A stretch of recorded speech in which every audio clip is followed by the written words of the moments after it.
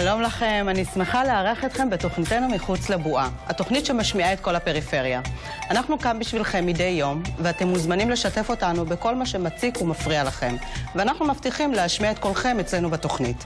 מדי יום יתארח פאנל של אנשי מקצוע, שיעזור לנו בבעיות ובקשיים שנובעים מעצם היותנו רחוקים מהמרכז. נקבל מהם עצות ופתרונות, ויחד אולי נצליח להביא את השינוי. אז בואו נכיר את השלישייה הפותחת שלנו להיום.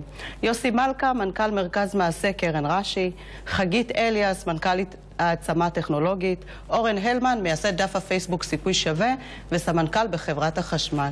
שלום, ברוכים הבאים, אנחנו שמחים לארח אתכם. שלום, שלום. היום מבט לעתיד, ישראל בת מאה. ננסה לדמיין איך תראה מדינת ישראל בעוד 30 שנה, בשנת המאה. אם המגמות ימשיכו כפי שהן היום, אזי על פי הנתונים תמנה אוכלוסיית ישראל בקרוב ל-20 מיליון תושבים. ולכן, אם היום אתם מתלוננים על צפיפות בכיתות, פקקי תנועה ותשתיות, תחשבו מה יהיה בעוד כמה שנים. נתחיל איתך, יוסי. אתה מכיר את הפריפריה, גדלת בקריית שמונה. איך מתמודדים עם הבעיה המחריפה הזו? אכן זאת בעיה. לטעמי זאת בעיה שמונחת לפתחנו כבר אה, שנים לא מעטות, והייתי אומר שרק בשנים האחרונות יש התחלה של הבנה גם בקרב מקבלי החלטות בירושלים, שצריך לטפל בבעיה הזו. והתוצאה של העניין הזה זה מערכת אה, תחבורה שמתחילה להיות מפותחת לאט מדי, מאוחר מדי. תחבורה ציבורית, הרכבת לכרמיאל וחצי בית שאן. אה, וגם אה, מערכות הכבישים שמפותחות עכשיו במרץ רב. צריך לומר, זה מאוחר מדי, הקצב לא מספק, ואם לא תהיה מערכת הסעות המונית ציבורית אה, משמעותית, שתאפשר הגירה של צעירים וצעירות מהמרכז לפריפריה, תוך אפשרות או פתיחת האפשרויות לתעסוקה במרכזים אורבניים, כמו חיפה במקרה שלנו, mm-hmm. אנחנו נעמוד בפני בעיה קשה ביותר. כבר היום הצפיפות אה, במרכז הארץ היא בלתי נסבלת, היקף הרכבים שעולים על הכביש הוא בהיקפים חסרי תקדים גם בהשוואה בינלאומית. אה, האדמה היא מוצר מתכלה. משום שיש פחות ופחות אדמה פנויה במרכז, ולכן אין ספק שהתנועה דרומה וצפונה תהיה, וככל שהממשלה תקדים ותטפל בהיקפים גדולים, לא בזריקת... סוכריות, אלא בעבודה שיטתית, בתוכנית רב-שנתית, בסוגיות שאמורות להפוך את הפריפריה למספיק אטרקטיבית, מוטב כך, מוקדם ככל האפשר. ואתה בעצם מדבר על איזושהי תוכנית ארוכת טווח, שהיא תהיה ברמה הלאומית, שבעצם תהווה לאיזשהו שינוי אה, מיידי. אבל יחד עם זאת, אתה מדבר על זה שבעצם הפערים שדיברת עליהם, הם כל הזמן יישמרו. קודם כל מדובר על uh, פערים כמעט בכל פרמטר אפשרי, mm-hmm. מהשכר הממוצע המשולם פה, היקף האבטלה, uh, יש פה איזו אשליה אופטית שיש פה uh, תעסוקה מלאה בגליל ובנגב. אז בנגב כמובן האבטלה בקרב הבדואים וערי פיתוח היא יותר גבוהה, בצפון האבטלה היא סבירה לחלוטין, אבל צריך לזכור שנתוני האבטלה לוקחים בחשבון את השכר הממוצע המשולם פה שהוא נמוך בשיעורים דרמטיים ממה שמקובל במרכז הארץ. צריך לדבר על זה שמדובר על משרות חלקיות בלבד ולא על משרות מלאות. בן אדם שעובד חצי משרה מבחינת המדינה הוא לא מובטל, הוא, הוא מועסק, ולכן יש פה איזו אשליה אופטית שמכסה על העובדה שיש פערים כמעט בכל פרמטר. אנחנו חיים פחות מבמרכז, בתי החולים שלנו פחות טובים, מערכות החינוך, הביצועים של מערכות החינוך שלנו פחות טובות בפריפריה מאשר uh, במרכז, במרכז, ועוד שורה של פרמטרים מאוד חשובים שמשפיעים על איכות החיים של התושבים ועל העובדה שהפריפריה היום לא מספיק אטרקטיבית כדי להביא מסות של אנשים מהמרכז. יש טפטוף, יש כבר סימנים טובים, אבל זה לא השינוי שאנחנו מייחלים לו. כדי שיהיה שינוי, צריך לדבר במונחים של תוכניות לאומיות בכסף גדול ובקצב יותר מהיר. אני מסכימה איתך, חגית? אני חושבת שבסך הכל יוסי מיפה באמת את הבעיות. אה, אני חושבת שהשאלה היא אה, האם יהיו פה חיים אה, נוחים, זה לא עניין, זה לא פונקציה של מספר האנשים, אלא תשתיות הפיתוח. והדגש המשמעותי ביותר זה גם הסיפור של תחבורה וגם הסיפור של תעסוקה איכותית. Mm-hmm. אם אנחנו מסתכלים על תחזיות קדימה, אנחנו יכולים ככה לייצר איזשהו מנעד בין אלה שחוזים קטסטרופות, ואפילו מדברים על הגבלת הילודה, שהיא מאוד מאוד גבוהה כאן, לבין אלה שבאים ומדברים על תכנון אורבני, שהוא הרבה יותר חכם והוא אפשרי. Mm-hmm. ולכן אני חושבת שהסיפור של התשתיות הוא קריטי. אה, כבר היום הממשלה נדרשת אה, לסיפור הזה. אני חושבת שיש כאן איזשהו תוכניות שהן קצת טלאים טלאים. ולא באמת איזושהי חשיבה שהיא ארוכת טווח, בגלל כל מיני חסמים אה, של משילות שאנחנו מכירים. למרות שחייבים לומר ששר התחבורה עשה עבודה לא רעה בכלל. בהחלט, בהחלט. לא, לא אז- מספיקה. לא כן. מספיקה. בדיוק. אוקיי, בסדר. אורן? אז אני אגיד, קודם כל צריך תמיד uh, לזכור את ההבדל שבין הרצוי לבין המצוי. צריך להתאים את שני הדברים האלה. אני חושב, ואני פחות מדבר במונחים של פריפריה, כי אם באמת אנחנו נייצר מערכת של uh, כבישים ותחבורה, רכבות, לאו דווקא כבישים, כי אנחנו יודעים שכולם אוהבים לנסוע במכוניות בישראל, ומפונקים צריך לייצר איזה שהם תמריצים להשתמש בתחבורה ציבורית, כמו שקורה בעולם אגב, עם הרכבת הקלה, מה שעושים בתל אביב, וזה כן תכנון ארוך טווח, עם הרכבת והפיתוח שלה. בתל אביב, אורן. כן, אנחנו מדברים כן. על פיתוח אבל גם תחבורה ציבורית בפריפריה. אבל גם פיתוח של קווי רכבת בסופו של דבר, אורן, אתה יודע כמה פעמים מגיע אוטובוס ציבורי למצפנת עופרה בגליל? רק... גם כמעט ולא של, מגיע, של, זה- של רכבת, נכון, יכול להיות, אבל אני לא מסתכל על, אה, זאת אומרת, דוגמה ספציפית, אלא אתה מסתכל על מערכת של כבישים, ונכון, צריך לעודד את התחבורה הציבורית, אין אבל ספק. זו דוגמה שכיחה. יש עכשיו- לי עכשיו מתנדבות מדיר אל-אסד שמדברות אבל- על זה שאין כן. אוטובוסים בכפר נכון, שלהם. אני מנסה להסתכל לפעמים גם קצת על החיובי. בהחלט. לא רק על השלילי, ולכן אני אומר עוד פעם, הפריפריה, ברגע שנייצר קיצור של טווחים, אז אנשים מאשקלון יוכלו לעבוד בתל אביב, כי זאת נסיעה של שעה. אני מרמת אביב לתוך תל אביב נוסע בערך שעה, לנסוע לחיפה מתל. אביב. ו- אגב, עושים את זה. נכון. אשקלון עושה את עד זה. היום עושים את זה. מצוין. אבל צריך לתת להם יותר תמריצים לנסוע בתחבורה ציבורית. ברגע שאתה מפתח את התחבורה הציבורית, כמו רכבות ודב- ודברים כאלה, וזה עניין של אה, מפתח, אז אפשר גם להקים ערים כמו חריש, כמו מודיעין, ודרך אגב, גם הערים האלה שהוקמו אמנם לא מזמן, זאת אומרת, הוקמו, מודיעין הוקמה מזמן, אבל עדיין זה כן ראייה אה, אה, ארוכת טווח. זה הדבר הראשון. דבר שני, תשתיות. דבר שלישי... חריש זה לא פריפריה, אורן. תראה, מה זה זה לא פריפריה. גם מודיעין זה לא פריפריה. ומי במודיעין זה בוודאי לא פריפריה. כל מי שהיה 20 דקות בארצות. הברית או. באירופה יודע שבישראל אין באמת פריפריה, מדינה כזו קטנה, אבל צריך לייצר סיטואציה שבה מקריית שמונה לתל אביב לא ייסעו שעתיים.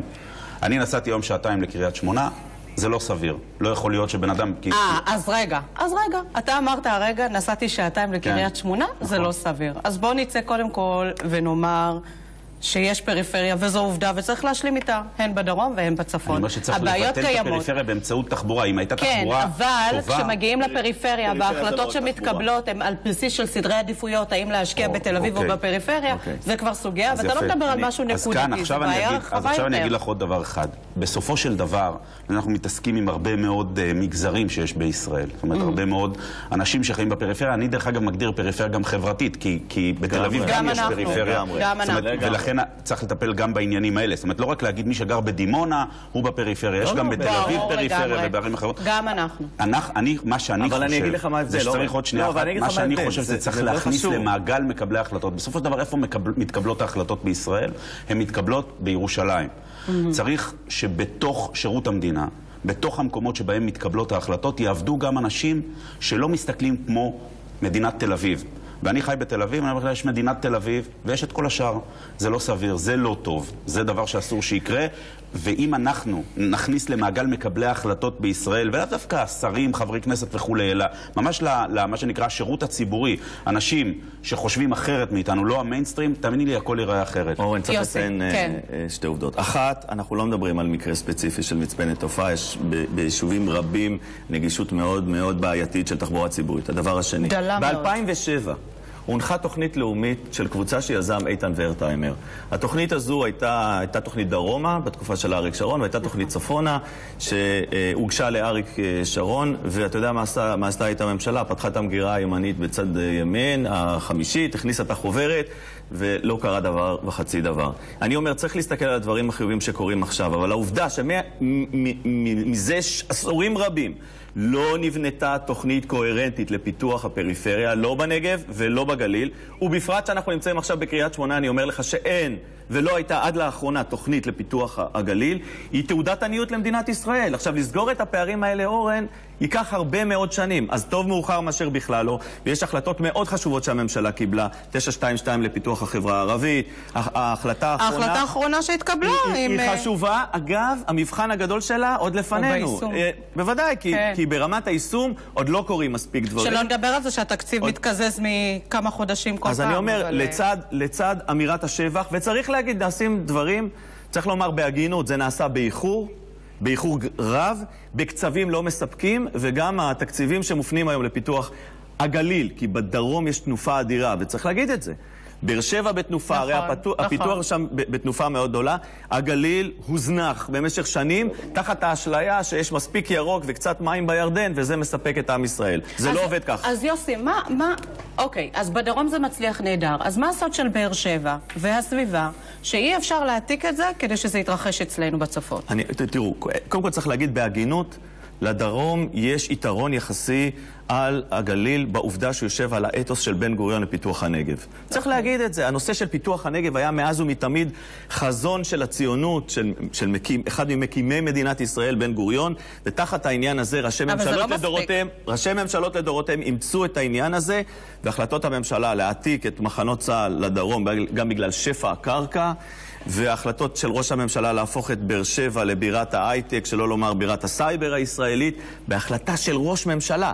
תגידי לי, איזה החלטה קיבל ראש הממשלה לגבי צפת או לגבי קריית שמונה? החלטה דרמטית, לא לתת איזה סוכריה. לא התקבלה החלטה כזאת. פתאום הנגב הפך להיות הפוקוס, המרכז של ממשלות ישראל, לא רק בכמה שנים האחרונות, למה? אלא מזה עשור. אז למה? אז אני אומר, אני, אני, אני אגיד שני דברים מאוד חשובים. אחד, זה יושב על האתוס הציוני של הקמת המדינה עם מי שהוביל את האתוס הזה, בן גוריון, ודבר שני, וצריך להגיד את האמת, מהדרום, מאז ומתמיד, היו יותר נציגים בבית הנבחרים עם כוח והשפעה, מסילבן שלום יוצר באר שבע ועד רבים אחרים, שהשפיעו על החלטות הממשלה. בעניין הזה אני מסכים עם אורן.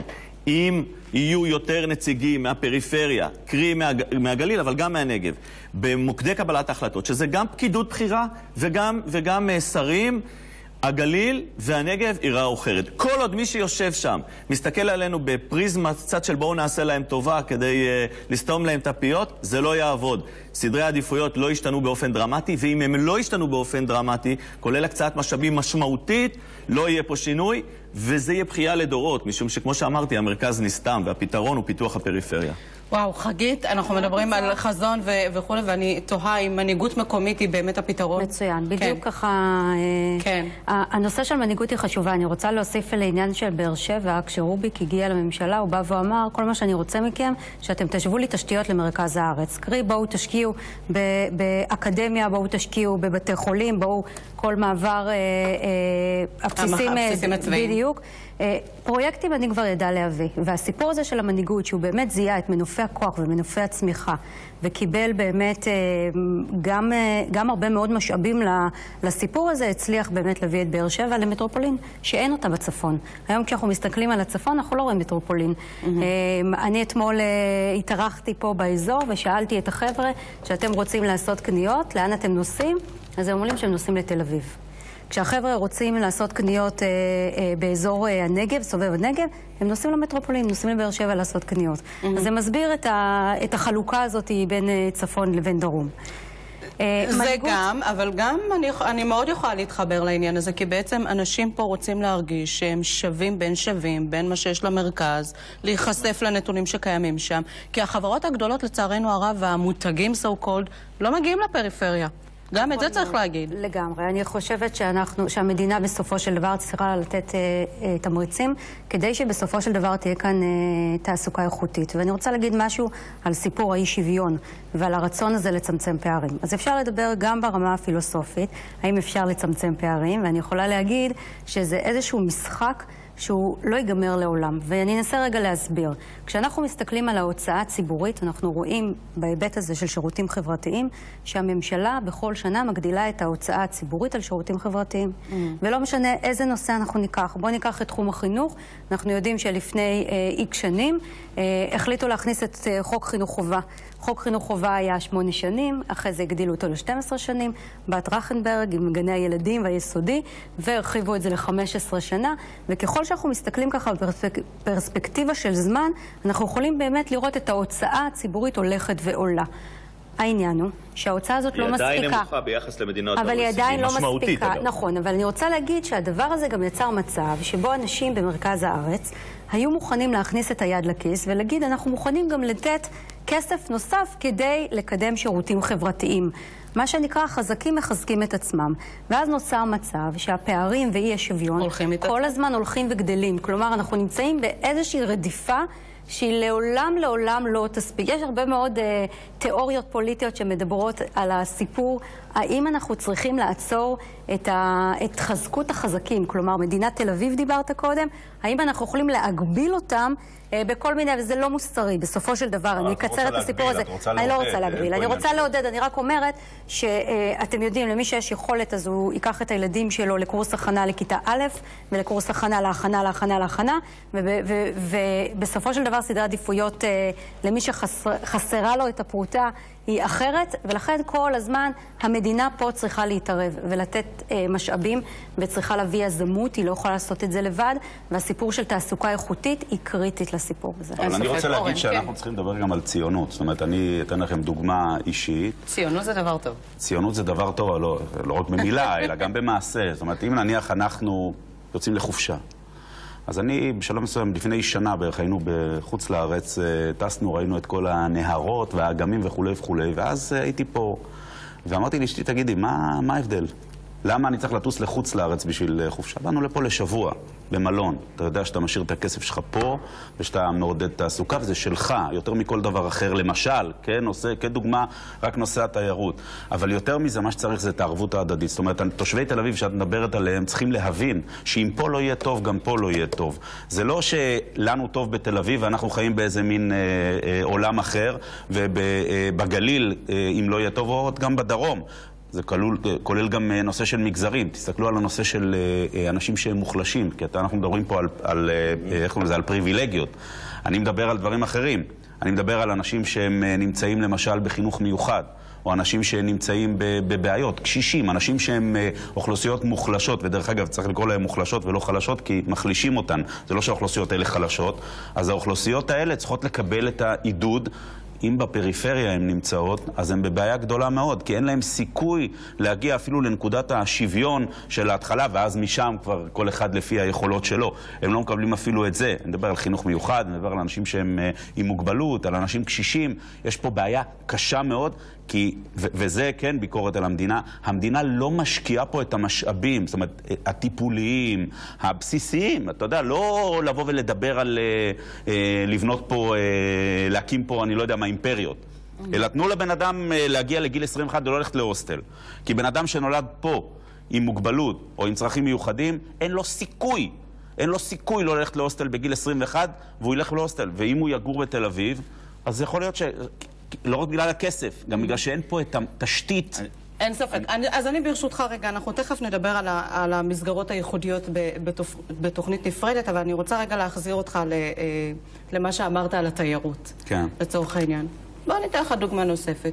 אם אני רוצה לעשות נופש באילת, לצורך העניין, למה אני צריכה לשלם הון תועפות כדי לנפוש?